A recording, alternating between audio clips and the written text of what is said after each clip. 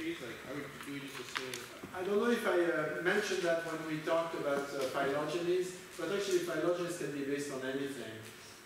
The, the reason why people use genetic uh, uh, characters is because they are easier to, to find. The method is, but, uh, but you could use anything.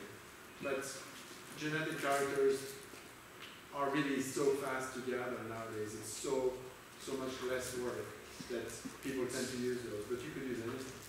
Is that usually what's used? Is it safe? Ninety-nine point nine percent of the time it's genetic characters. But they, they, you wouldn't have to, but that's what this is. The other question, was it the same question? No, it's not the right question. Oh, now you're, up. you have a question? No? Oh, you were just petting your dog. Yeah. What's the, the dog's name? Empanada. I like it.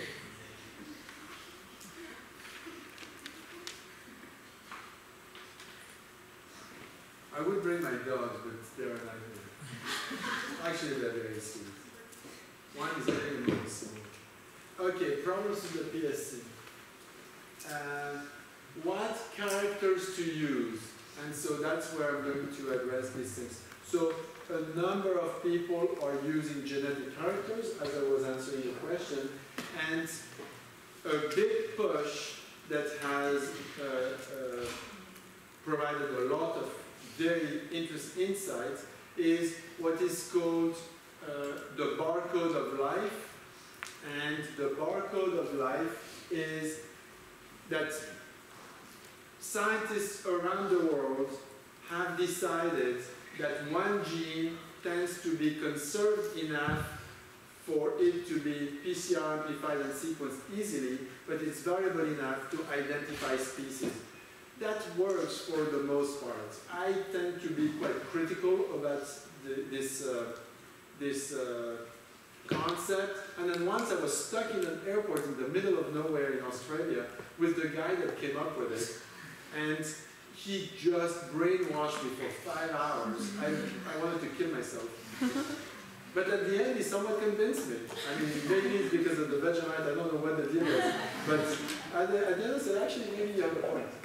And now I'm somewhat sold because it's true that it's kind of cool to be able to sequence a single gene and just have an idea. The advantage of sequencing a single gene is that you can compare thousands and thousands of data sets and start to form an opinion of how, how well it works. And, and so that's really nice because you can now be very critical, but with data, and you can be praising the project, but with a lot of data. So, you know, instead of just chatting, you can actually look at the hard facts and say, okay, does it work or not?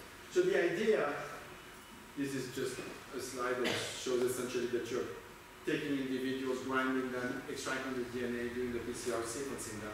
So you sequence the cytochrome oxidase 1, that's a gene that is in the mitochondrium, so it's very easy to sequence the mitochondrial gene, and it is, it actually works in the largest number of species in the world, so that's very convenient.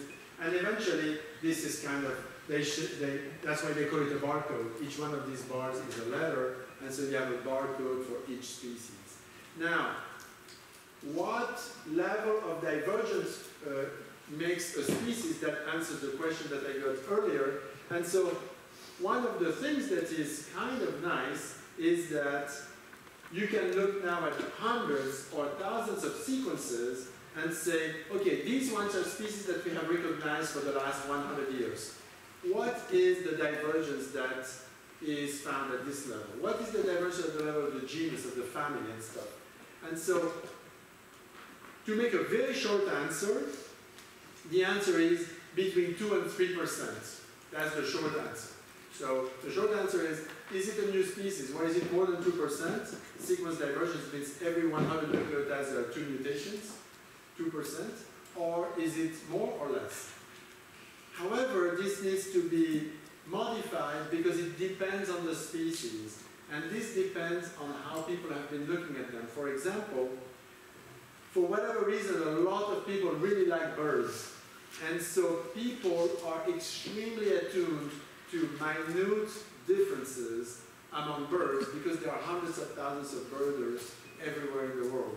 And so because there are so many birders, we can identify very, very small differences among birds. And sure enough, on average, the CO1 divergence that separates bird species is lower than in other groups of, of uh, species. And so you need to refine a little bit what you're talking about. And in some species that have not diverged for a very long time, there are real species, but the CO1 is very, has very low variability. In some corals, there is no variability whatsoever.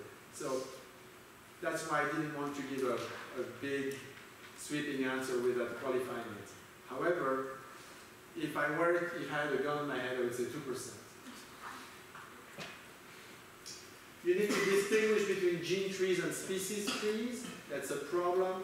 We, I briefly mentioned it, I think, when I talked about phylogenetic trees.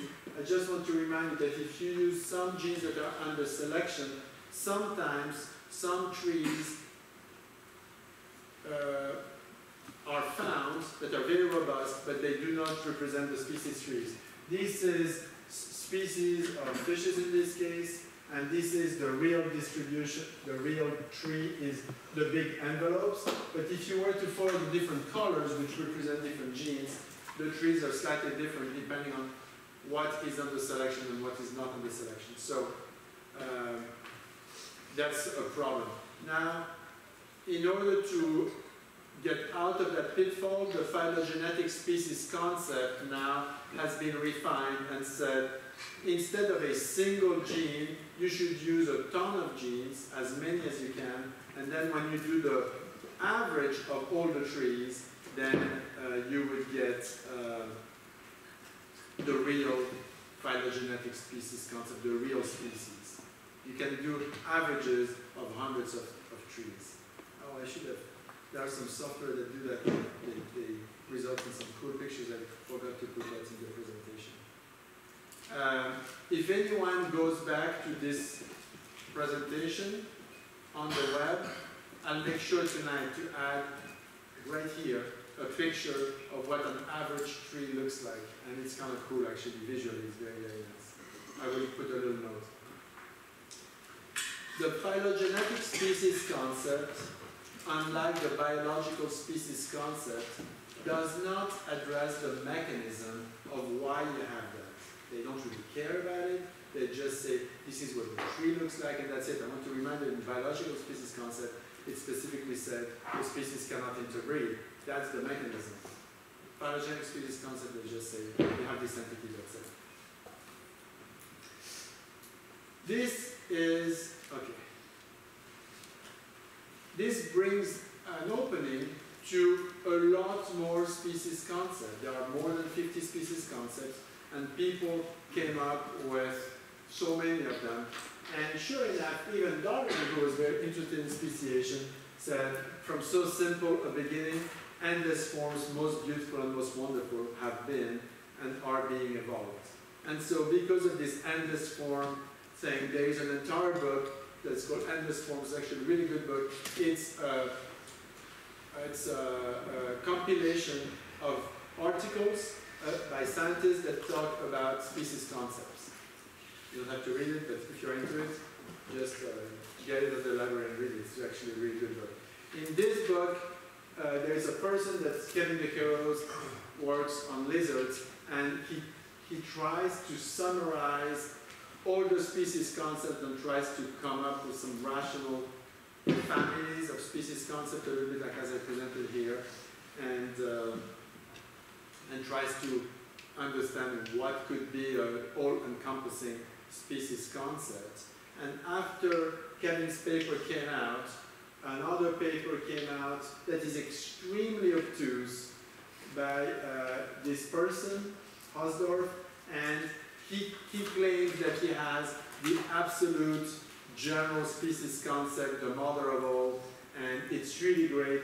And his species are groups of individuals that experience peaks of fitness. I mean, this is great, but unless you are an absolute nerd, you have no idea what that means. I don't know if you remember, now I need to, you need to go back to before the, the midterm, I think. or maybe not, I can't remember when we talked about it. But you remember that I had an animation where you would have those populations that move over those colored peaks and valleys, and at some point they would end up at peaks of fitnesses. All those organisms that are at the peak of fitness, this is a Sewell Wright's concept of, uh, of landscape fitness, then the ones that are at the top are a species. That's what the ultimate species concept is. I mean, you have to be a real nerd to understand even what that's supposed to mean. But that's what he claims, and strangely enough, no one has challenged it since 2011, so it's likely that ultimately that's what the species is. This is species concepts. Now we're going to talk about speciation. How do you make species in the first place? That's great. It's 10.58. We've got two minutes of break before we talk about speciation. Let's take a two-minute break.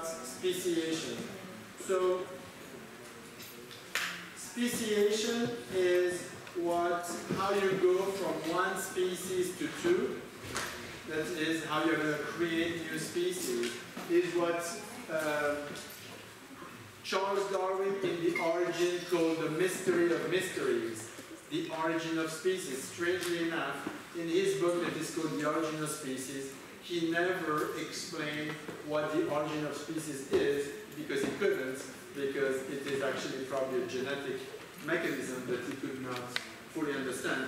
However, uh, he would see just the result of it. So speciation is the multiplication of species in Darwin's words. So the multiplication of species, according to the BSC, speciation occurs when populations evolve reproductive isolating mechanisms. So this means that um, for whatever reason, the, the genetics of these organisms are preventing them from um, reproducing. So there are two main ways of doing it. One is that you prevent fertilization before the gametes fuse. This is what is called pre-zygotic isolation. The zygote is the fused gametes. So pre-zygotic isolation, you are evolving mechanisms that prevent the fertilization in the first place. This may involve a change in location or timing of breeding or courtship, whatever it can be behavioral, it can be physiological, it can be a number of different things. Another alternative is you don't do any of that, but you are preventing the zygote either to develop or to be fertile. And this is what is called post-zygotic isolation. So post-zygotic isolation, the hybrid is inviable or sterile, and so you are maintaining the purity of the species, if I may use those loaded words, by preventing reproduction to, not by uh, uh, preventing reproduction to happen, but by preventing the result of that reproduction to have any fitness. The fitness is zero. Either the organism is dead or the organism does not have any offspring. So, there are four major types of speciation that I will be talking about. Again, people love to split, so in the literature I'm sure that you can find hundreds of them, but I will talk about the four of them, and even those four are not super clear in my mind. So if they're not in mine, I don't know how it could be in yours, but what I mean by that is that the distinction that goes from one to the other is very tenuous, in my opinion. Allopatric speciation, peripatric speciation, parapatric speciation, sympatric speciation. You know me well enough to know that as soon as there is a list, I love those things for, for example. I love these things. I don't know why I really should get over it, but I kind of like it. It makes it very clean. So, um, this is how it's represented. Very often, when species diverge, at some point they meet back. That's what is called secondary contact. The bottom line is the same everywhere.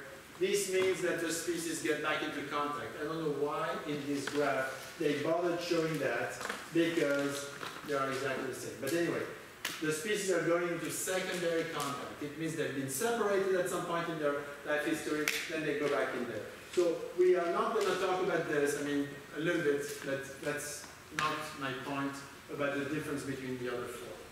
So let me go one second through those, very briefly now, and then one by one I will explain what they mean. In an allopatric situation, the, the organisms are physically or temporally separated. It's what Ernst Mayr calls the multidimensional system. They are separated, they diverge into different species, and that's it. Then eventually they can go into contact or not, but they diverge into different species separately. This is the most common, commonly understood, it's really easy, that's a, I will explain all this in detail later, but that's the most common one. The other one, the other extreme is here. This is the sympatric situation. In the sympatric situation, the organisms are together, either in time or space or both, and then they end up into two species. That's sympatric. What is in between is in between those two models. A peripatric situation is when some individuals migrate into a different place and they turn into a different species, which is essentially allopatric, but they have migrated elsewhere. That is right next to it. Or in a parapatric situation, they are not too far, it's the same, but not too far, but they're still in contact. So I will give examples of all of these things, and then it's going to make it better, and then uh, if you have more questions about it, then I need to clarify by all means. Again, there are four of them, allopatric, peripatric, parapatric, sympatric. I'm not going to go through each one of them separately. So first of all, allopatric speciation, that's the one that is favored by Ernst Mayr, that's the easiest one to understand, that's the better known one. Allopatric speciation, John Endler, who is a professor at UC Santa Barbara, he works, he has worked on vision in mostly birds, bowerbirds, and guppies. If any of you have fish tanks at home, you may have heard of Endler's guppies. That's where it's coming from. So John Endler said the phenomenon of disjunction, which means geographic separation of populations, or complete geographic isolation, is of considerable interest because it is almost universally believed to be a fundamental requirement for speciation. It means that, in his opinion, you always need to have geographic separation, which is true for the most part. Uh, a good example of that, reproductive isolation, uh, is uh, Hawaiian Drosophila. Hawaiian Drosophila is a fruit fly. It diverged in different Hawaiian islands and it turned into different species, one in each of the different Hawaiian islands. These are the native fruit flies, not the ones that people brought in later. And one thing that is very, very cool with this system is that the Hawaiian Islands are, is a, a chain of islands that has emerged from the ocean floor because of a, a hot spot. The most recent island is the big island of Hawaii. The hot spot is a little bit to the uh, east of it, but the islands have been moving ge in geological times towards the west. And if you make a phylogenetic tree of the endemic species of Drosophila on the Hawaiian Islands, the oldest species are found on the western part of the islands and the more recent ones on the eastern part because they speciate as the islands come up from the ground, from the ocean floor. So it's a clear example of allopatric speciation. They are in different islands, they are se physically separated. And uh, Uh, just wondering, if it's speciation by island hopping, why would that be considered peripatric if they're minor? You are exactly right, and when I don't have a good answer to your question because it's a fair fair answer, and when I say I'm confused, that's where my confusion comes from. It's it's a it's a matter. When I give examples, you will see that it's actually is a little bit different because it uh, deals with both time and space of the event. So the examples that I will give, I hope, will say, oh yeah, it is kind of different. In the big picture, in my opinion, there are only two types. Either you're sympatric or you're allopatric, and the other ones are just flavors of the same thing. But if you really want to uh, split hair, then that's what you will be doing. But when I give examples, maybe you say, well, I, I kind of understand it's a little bit different. I'm not fully convinced myself, so I cannot really um, give you a proper answer to your question that is very fair. Uh, a classic example, the poster child of allopatric speciation is our beloved Darwin finches.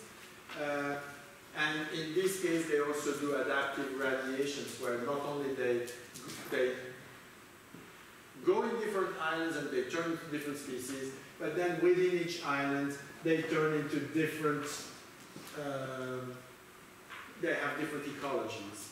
And so this is a classic drawing, you've seen it a hundred times, I'm sure, of, of uh, Galapagos finches, where the beak is modified depending on what they're doing on the different islands. What I'm talking about here in this context of speciation is the fact that they went to the different islands and they diverged into different species, genetically different species. There's a number of examples of that in birds, many examples. Another good example is the Hawaiian honey creepers. A lot of them are extinct now because people have introduced diseases and, uh, and uh, invasive species. But before, before people were on the islands, that's what it used to look like. A lot of different beautiful honey creepers.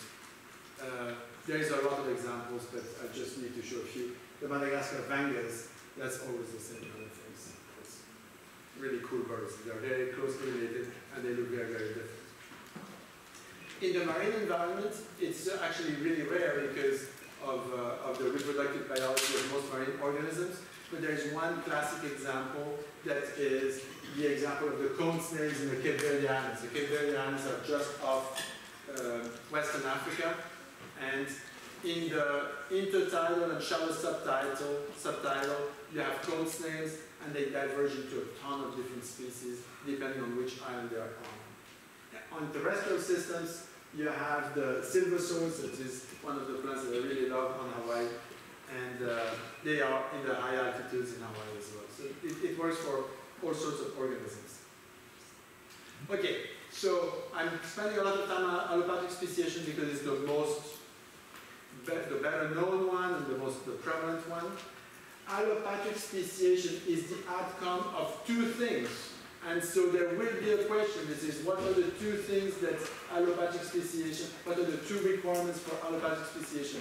You need isolation and divergence. So you, you first have, it's a two-step process. You first have isolation and then you have divergence.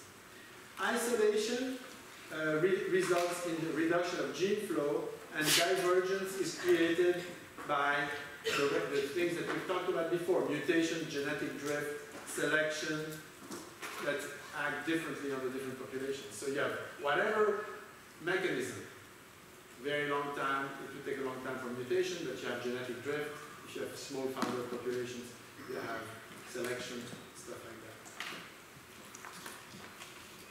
that. Isolation, the first step, may be created by two processes, either dispersal or vicariance. What is the difference? The difference is the following. In a situation of dispersal, you have a population of organisms which are represented by those blue dots here that are not too far, let's say on an island. Then there's another island that is created, such as the Hawaiian Islands, or birds arrive on one of the Galapagos Islands. The other Galapagos Islands do not have any birds. And then, for whatever reason, there is a storm, there is a hurricane, whatever, that moves the organisms to another island. They colonize the new island, and after the, the, the result is that the, the two islands now are colonized. And incidentally, I'm getting ahead of myself, but because there are few individuals that have moved, then there is genetic drift that is very strong because there is sorting that happens because of the population that is small. This is dispersal at the top. At the bottom, you have the other the situation where you have a population that is very large, and then there is a phenomenon that physically separates them. This can be the continental drift. You have uh, uh, organisms that are found in Africa and South America before the continental drift, and then the continents are broken apart and then they separate. That is vicariance. Or you have a movement of a river, for example. You have a big forest, such as the Amazon, and when the Amazon River was created, then species, populations on each side of the, of the river turned into different species. That is vicariance. Vicariance was discovered or proposed in the 1950s by a botanist. His name was Leon Croizat, who worked in Venezuela. He was French Italian, but he, he worked in Venezuela. And he came up with, he realized that some plants that he was studying in South America were very similar but different than the ones in Africa. And so he said, this has to do with the continental drift that had just been discovered uh, just a few years before. And then he said, okay, that's, that's what happened. So he proposed vicariance. If you are interested in some sort of crazy life, you can read about, about his life. He was very, very bizarre character. Um, now I'm going to talk about, so allopatric speciation, you have isolation first, then divergence. Now we're going to talk about peripatric, parapatric, and sympatric, the other three, uh, three modes. So peripatric is when a new niche is entered, and again, it's more of an ecological thing rather than a big geological time frame. That's my understanding of how different it is from allopatric speciation. The classic example of that, you may have seen documentaries. Last time I talked about it, someone said, oh, there's a great documentary about this. There is a population of lions that move away from the regular distribution of lions and moved into the Okavango Delta in uh, Botswana, I believe. And they specialize into hunting in water, I mean in shallow water, as you see this, uh, this lion uh, hunting. And eventually they are starting to be genetically different than, than the regular lions, let's say. And so they're going to turn into a different species. So a peripatric speciation is when you have really a movement of organisms that is going somewhere and ecologically changing and turning into a different species. Now, how different it is from dispersal and isolation, it's not much, but it's some sort of a, the time and distance is less, kind of. Peripatric speciation. Has anyone ever seen any movies about those lions in water and stuff? Oh. You guys are missing out, it's pretty cool. Parapatric speciation. Parapatric speciation is reproductive, reproductive isolation that occurs without complete geographic isolation. You know, we are moving more and more towards sympatric speciation. And so, uh, the best example of that, there are two examples that I'm going to give. The classic example that has started this entire thing was uh, discovered by Trevor Price on greenish warblers. This picture is Trevor Price next to a picture of a green, greenish warbler. The birds are actually very small, just in case you're wondering. Trevor Price is a super interesting person. He worked at the UC Summit San Diego, and uh, he's uh, British, I think, and he decided to hitchhike to Nepal to get the best possible weed. And that was his goal. And as he was stoned out of his mind when he was in the Himalayas, he started looking at warblers and realized that uh, there was funny stuff happening there. And he came up with the idea of what is called ring species. That's what we're talking about. So ring species, this is how it works. So this is India, and this area in the middle is the Himalayas. So in the Himalayas, in the middle here, uh, you it's a high mountain, obviously, and so you cannot have the birds cannot live here. And he he noticed that the birds that were here were all mating with each other, and they could they had a specific song, and then they at the border here, they could kind of mate with these guys, but then these guys would have a different mating song. There, here there was some sort of a border, and there was another one, and another one, another one, and they were going all the way around. Now, what is interesting about it is that they actually, evolutionary speaking, started off here. On this side, I need to be here because there is a camera. So they start here, and this is the recordings of their songs. And they have a dialect here, and they move here, so this is a single species. And then they, they moved here, and then they changed their dialect, their songs, and they and, then, and these guys can interbreed with these guys. These guys can interbreed with these guys. Same here, but then at the end he tried to interbreed these guys with these guys, and he couldn't. There was a very very strong uh, breeding barrier at the end. And so that's the way that they are moving around, and eventually they diverge so much that they cannot interbreed. So that was that was a mode of speciation that you slowly have a gradation where you diverge more and more, and eventually you reach complete sexual isolation. So the, the classic example of ring species is the greenish warbler. The second one is in California, which is really great. And it's another example of ring species, and it's with this uh, Ensatina uh, salamanders. You may have seen those things. If you lick them, you are kind of uh, toxic in a pleasant way, a little bit like those banana slugs. And um, that's exactly the same idea. I would just say the same thing about, about those guys that I just said in the other one.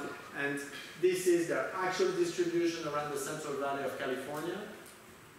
But if you were to uh, represent it uh, schematically, what it shows here is that you have interbreeding that is possible between adjacent morphs of species, but then, and little by little, they sort of migrated and they diverge a little bit and they have those species that are in, in those little pockets. And eventually they diverge so much that at the end, when the ring is getting close, they are, they diverge so much that they cannot interbreed anymore.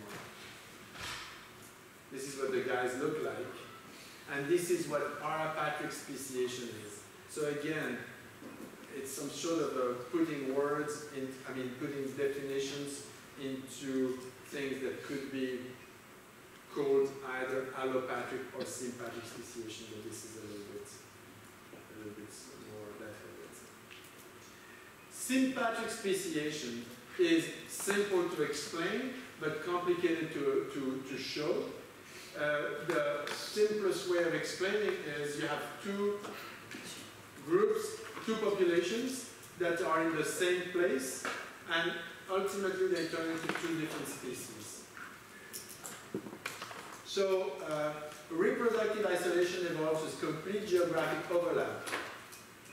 For the most part, sympatric speciation is very, very difficult to show scientifically, and a lot of examples that are given in the literature, in my opinion, are absolutely not sympatric speciation.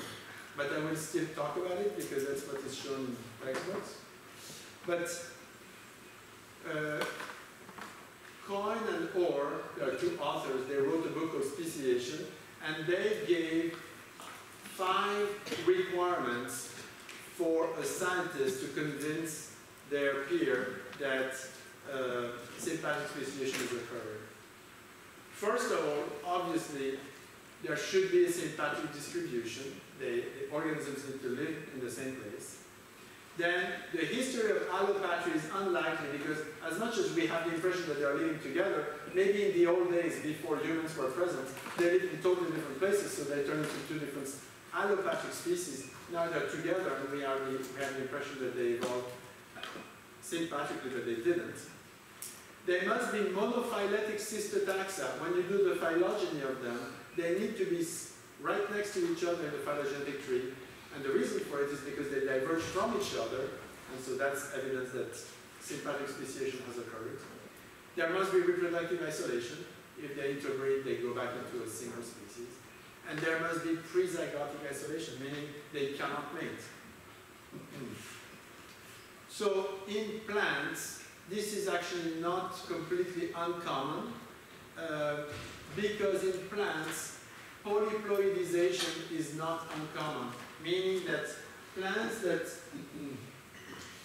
reproduce oftentimes change the number of chromosomes of the offspring.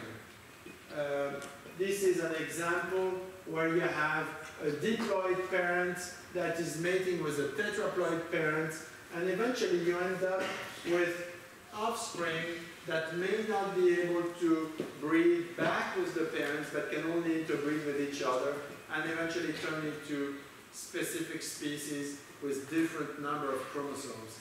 In plants, this is actually not uncommon, and this is true, let's say, sympatric speciation. Right? I don't know what it does, but it's pretty cool. Um, and uh, so they turn into different species, and so that is genuine sympatric speciation. It's kind of a quirk of the genetics of, uh, of plants. The most classic example of sympatric speciation that I personally completely dislike is uh, the example of the soapberry bugs.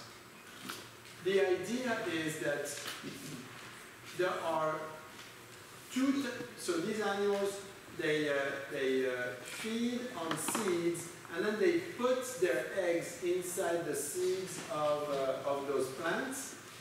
And there are plants that are right next to each other. One of them, has, incidentally, has been introduced, but that's not actually the worst thing that happened. But one was introduced, and one has a small seed, small uh, pod, and the other one has a large one. And the, the insects need to have a different size proboscis to go inside the small or the large uh, seed. And so because of that, right next to each other, you have two plants right next to each other. And then the bugs that used to be a single species now turn into two species because a new plant was introduced. And that has a different size pod. The reason why I don't like it because it's sympatric is because if you have a drone or if you are very far and you look at it, yes, it is sympatric. But in my opinion, this is completely allopatric because you never have the two bugs in the same plant. They are just in two plants that are right next to each other, granted. But as far as the bug is concerned, they live in two different worlds. I mean, okay, sure, they are like one meter away, but they could be a mile away, it would make no difference. However, this is the, the classic example of sympatric speciation. So if someone asks you, is this sympatric speciation, you really should say yes. But in my opinion, it really isn't. That's how it's presented. There are, however, good examples of real sympatric speciation. One of the best one is the case of palms on Lord Howe Island, which I think is a paper that we may be reading in class, or maybe it's at least on the, on the reading list. And the other case is uh, sympatric speciation on Crater Lake cichlids in, uh, in Nicaragua.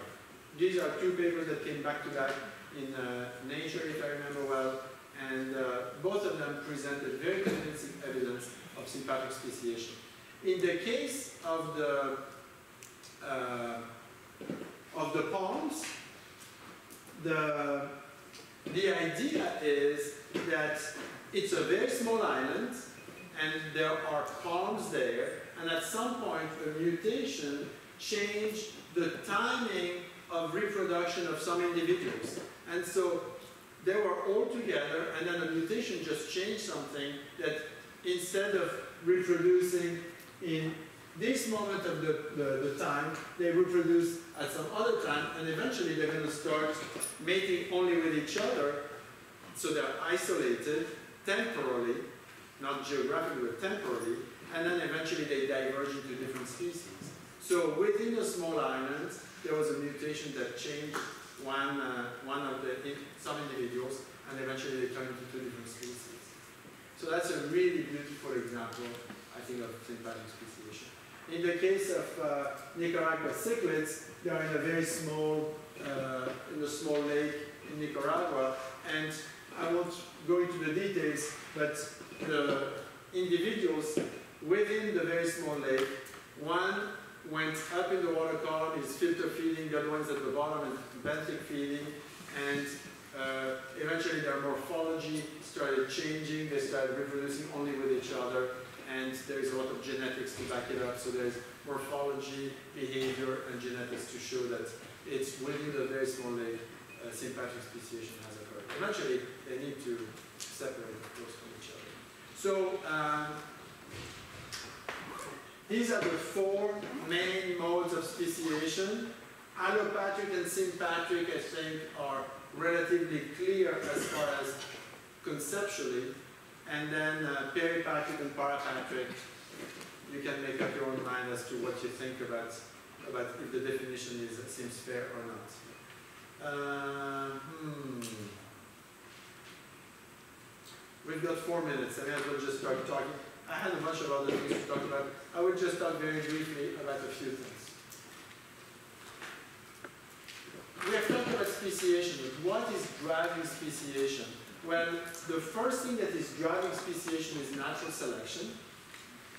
And you may have a number of reasons why natural selection is happening, but that is the example of the adaptive radiations of uh, Darwin's finches, for example. Not only do you have isolation and divergence, but the divergence is due to natural selection.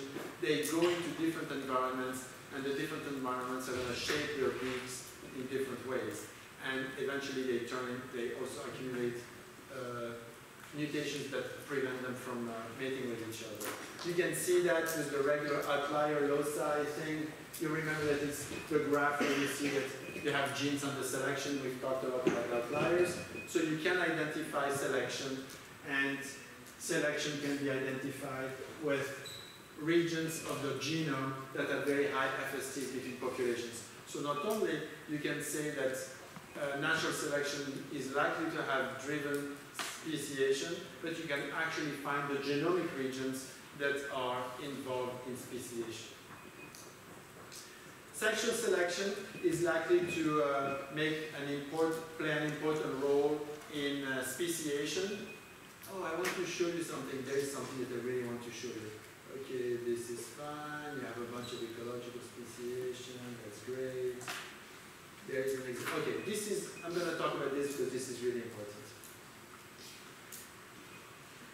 Just very last point. When you want to have speciation to occur, one of the things that may be occurring is prezygotic isolation. How does this happen?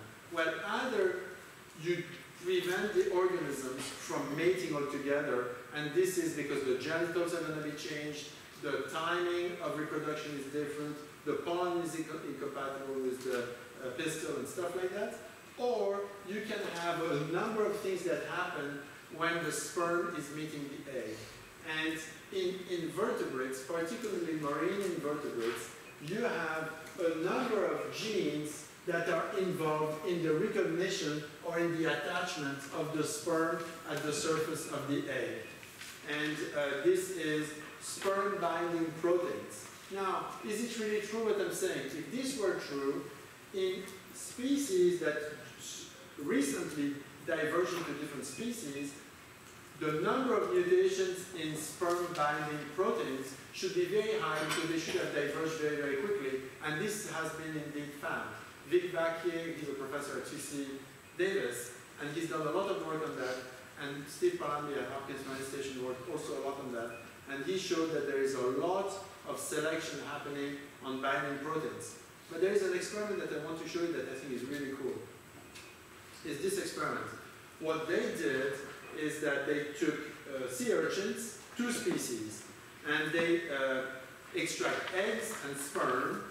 And what they do is that they have two species. One species is white and one is uh, dark. And they take the egg of one species